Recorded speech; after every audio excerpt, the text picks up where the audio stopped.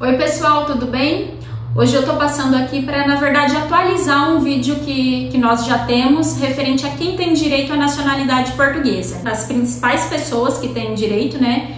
Que é para o filho. Então, se você é filho de pai, de mãe ou de ambos que tenham nascido em Portugal ou que tenham adquirido a nacionalidade porque também adquiriram através dos seus pais, você tem direito à nacionalidade portuguesa de forma originária. O segundo caso é para os netos. Inclusive, a gente tem uma novidade também que a gente já finalizou processos como neto, né? A pessoa tendo que comprovar o vínculo. Então a gente sabe é, o que, que é considerado como vínculo de fato em Portugal, né? Então, se você é neto, né? É, seu pai ou a sua mãe tenha falecido ou simplesmente não queira adquirir a nacionalidade, você pode pular essa geração, só que você precisa comprovar um vínculo, né? Como ter viagens regulares a Portugal, ser sócio de alguma associação portuguesa aqui no Brasil há mais de cinco anos na data do pedido, ter residência legal em Portugal, que isso adquire-se através de um visto, um visto para estudo, um visto para trabalho,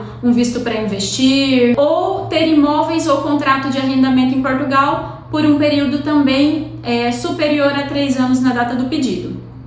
O outro pedido é para quem é casado com algum cidadão português há mais de três anos ou quem vive de união estável também há mais de três anos.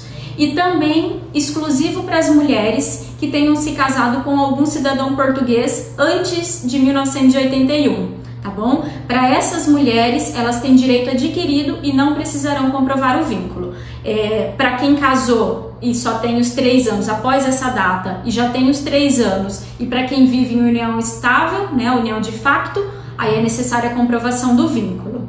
Para quem é, é casado há mais de três anos e quem se casou antes de 81 obrigatoriamente precisa transcrever o casamento, né? E para quem vive em união de facto, precisamos homologar a escritura pública aqui do Brasil em Portugal. Então, fazer valer essa escritura pública que concedeu a união estável de vocês aqui em Portugal, tá? O outro caso é para judeu, sefardita, Outro caso também é para quem reside em Portugal há mais de cinco anos.